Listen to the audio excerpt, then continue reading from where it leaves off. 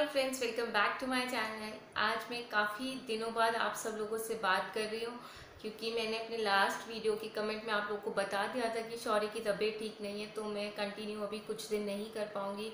सो so, आज मुझे finally थोड़ा सा टाइम मिला है। Around seven to ten days हो गए होंगे उसके बाद मैंने कैमरा उठाया है।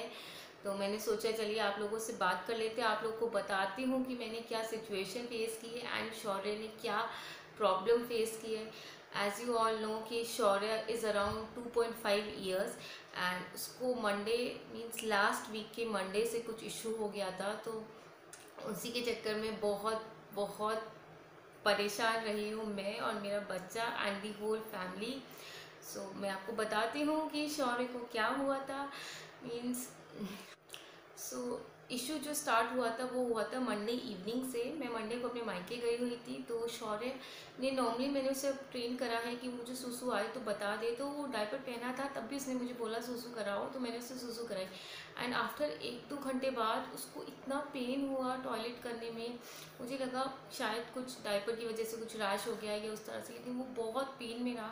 तो मैं इमीडिएटली अब मेरे घर के पास ही वही फिजिशियन है जिनसे मैं दिखाती हूँ तो मैं वहाँ दिखाने गई। उन्होंने भी बेसिक मेडिसिन दे दी पेन किलर की। और उन्होंने बोला, अगर नहीं रिलीफ मिलता है तो नेक्स्ट डे आइएगा। बट शौर्य का जो पेन था, वो बढ़ता गया एंड उसको टॉयलेट नहीं आने, आ रही थी। तो तीन दिन ही वॉज़ इन कंप्लीट पेन हमने सारे ब्लड टेस्ट करा लिए अल्ट्रासाउंड करा लिए। तीन दिन में हमने तीन डॉक्टर्स चेंज किए एंड फाइनली जो थर्ड डॉक्टर था, उसको ये पता चला कि शौर्य को क्या प्रॉब्लम हुई? हमने उसका जो यूरिन टेस्ट ब्लड टेस्ट सारे टेस्ट हो गए थे। एक यूटीआई नाम से एक इन्फेक्शन होता है, जो वुमेंस को भी हो जाता है यूरिन इन्फेक्शन उन सब के भी टेस्ट कराए क्योंकि शौर्य जो यूरिन करते टाइम बहुत रो रहा था और हमें बहुत फोर्सफुली उसे कराना पड़ रहा था। क्योंकि एक बच्चा पूरे दिन में कितनी बार टॉयलेट करता है और अगर वो टॉयलेट ना करे तो उसकी बॉडी पे कितना एडवर्स इफ़ेक्ट होगा। तो हमें लगता था कि शायद इससे थोड़ी जलन हो रही है बट देर सवेर ये कर ले। तो हम थोड़ा सू सू करके उसको आवाज़ करते थे, वो करता था बट बहुत बहुत एक्सट्रीम पेन में रहता था। तो मुझे भी यही लगा था यूरिन इन्फेक्शन होगा डॉक्टर को भी यही लगा। उसी की मेडिसिन चलती रही बट उससे कुछ आराम नहीं मिला। थर्ड डे हम स्पेशलिस्ट जो होते हैं यूरिन के यूरोलॉजिस्ट के पास गई आगरा के बहुत ही रिनाउंस्ड बहुत ही अच्छे डॉक्टर हैं। Really I am very grateful to the doctor उन्होंने मेरे बच्चे को ट्रीट किया है एंड इतना, इतने अच्छे से उन्होंने सब सर्विसेज़ प्रोवाइड की। तो शेखर वाजपेयी नाम के एक स्पेशलिस्ट हैं यूरोलॉजी के तो हम उनके पास गए। फ़र्स्ट डे जब हम गए तो उन्होंने भी बेसिक तरीके से चेक किया अल्ट्रासाउंड किया। उनको कुछ नहीं दिखा। उन्होंने बोला कि शायद ये ये हो सकता है तो आप ऐसे करा लो। नेक्स्ट डे तक इसने टॉयलेट नहीं की, इससे बहुत पेन हुआ। फिर फाइनली उन्होंने एक डीप कुछ अल्ट्रासाउंड किया। तब जाके जो रिवील हुआ ना it was like a very small stone पथरी जिसे बोलते हैं।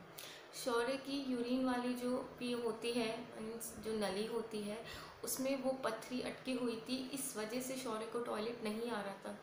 एंड जो हम उसे टॉयलेट कराते थे, उसमें उसको बहुत एक्सट्रीम्स में पेन होता था। तो बाद में हमें ये चीज़ पता चली कि वो पेन की वजह से मीन्स उतना फोर्सफुल होती थी उसके लिए वो toilet I still can't sorry तो उस रीज़न की वजह से शौर्य को टॉयलेट नहीं आ रहा था, इतना ढाई साल के बच्चे को पथरी हो गई। तो इमीडिएटली डॉक्टर ने उसी दिन इवनिंग का उसका ऑपरेशन किया एंड शौर्य का ऑपरेशन हुआ पथरी का। एंड वो जो बच्चों की सूसू वगैरह जो होती है, खुलने वाला जो बॉयज़ के साथ थोड़ा इशू रहता है, वो भी प्रॉपर नहीं था तो उसका भी ऑपरेशन हुआ। एंड बहुत पेनफुल था। मेरा बच्चा इतनी देर ऑपरेशन थिएटर में रोता रहा उसके बाद भी वो इतना रोया। ऑपरेशन वो सक्सेसफुल बट जो पेन था उसके लिए उसके हाथ में निडल लग रही थी एंड कैटेटर जो होता है यूरिन के लिए वो लग रहा था। ऊपर से मतलब एक उसके लिए एक बहुत बड़ी सफरिंग थी एंड हमारे लिए भी। तो धीरे धीरे इस चीज़ को काफ़ी टाइम लगा। हम एक ही दिन हम हॉस्पिटल में रहे। आ, फिर उन्होंने वो सब चीज़ें फ्री कर दी जो यूरिन वाला था कि उसको उन्होंने एक दो दिन रखा। तो तब तो शौर्य थोड़ा रिलैक्स था मीन्स वो भटक नहीं रहा था घर में आराम से था हॉस्पिटल में भी एक दिन बहुत रोया, फिर वो थोड़ा बेटर हो गया। तो नेक्स्ट डे उन्होंने डिस्चार्ज कर दिया तो घर पे भी वो गोद में रहा, उसको लिक्विड डाइट पे ज़्यादा रखा गया, क्योंकि वो ज़्यादा से ज़्यादा टॉयलेट करेगा तो उतना फ्लश आउट होगा। बट हुआ ये कि जब वो कैटरन निकाल दिया तो शौर्य ने फिर से टॉयलेट करना बंद कर दिया। वही डर जो पहले था, जो पहले जब वो टॉयलेट करता था उससे पेन होता था, वही फीलिंग उसे अभी थी। ऑब्वियसली उसको पेन भी हो रहा था नो डाउट मेडिसिन दे रहे थे। और बच्चा हॉस्पिटल से हॉस्पिटल की नर्सेज अंकल से टैबलेट से बाथरूम से, हर छोटी बड़ी चीज़ से डरता था। मतलब बाथरूम का नाम लो, लड़का रोने लग जाता, सूसू का नाम लो तो वो रोने लग जाता। इतना फेयर उसके मन में बैठ गया था इस चीज़ का। बहुत बहुत मुश्किल से हमने उसे संभाला है।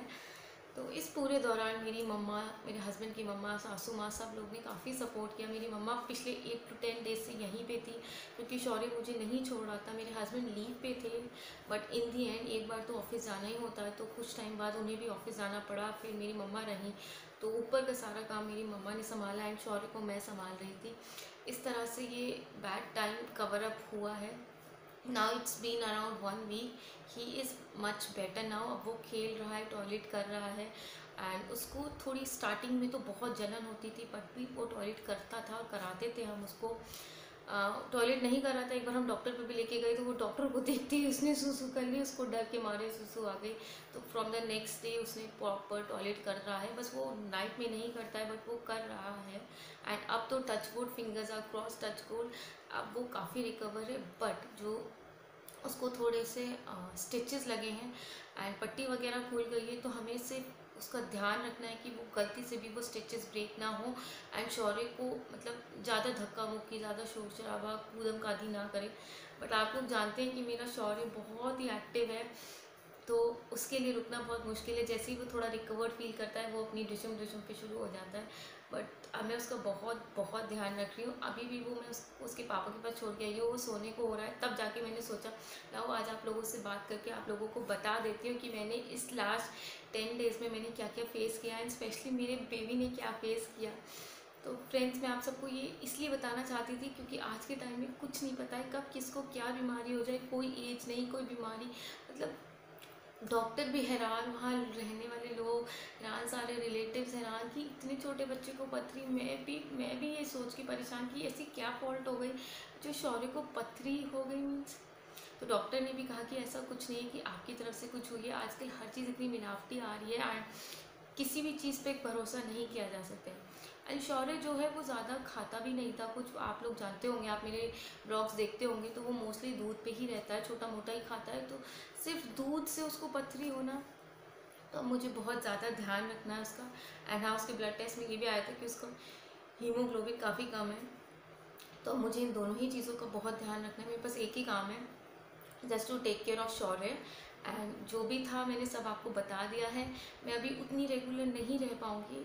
वीडियोस के लिए बट मैं कोशिश करूँगी छोटी मोटी जो भी हो, आप लोगों से एक दो दिन में, दो चार दिन में जैसे भी टाइम मिलेगा आपके साथ बात करूँ। तो अगर आपको मेरी वीडियोस अच्छी लगती हैं तो फ्रेंड्स प्लीज़ थोड़ा सा वेट कीजिएगा, क्योंकि अभी जो टाइम है, उस समय मुझे शौर्य पे बहुत ज़्यादा ध्यान देना है। तो आप वेट करिएगा, फिर शौर्य, मेरा सुपर एनर्जेटिक बीटा आप लोगों से फिर से जल्दी ही मिलेगा। मैं जल्दी ही उसको आप सबसे वापस से मिलाऊँगी बट अभी उसका रिकवरी टाइम चल रहा है।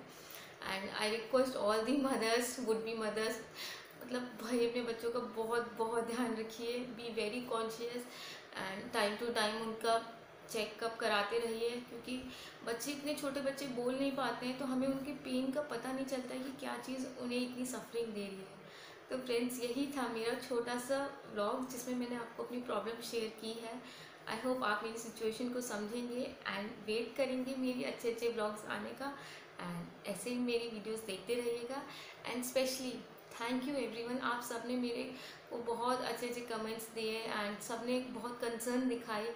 शौर्य के बारे में पूछना चाहा तो उसी वजह से मैं स्पेशली ये वीडियो बना रही हूँ कि आप लोग को मैं बता सकूँ कि ये शौर्य इज़ बेटर नाउ तो thank you all my YouTube family and all my friends so अब फिर से मिलते हैं किसी और ब्लॉग में। अभी बज रहे हैं रात के ग्यारह सो गुड नाइट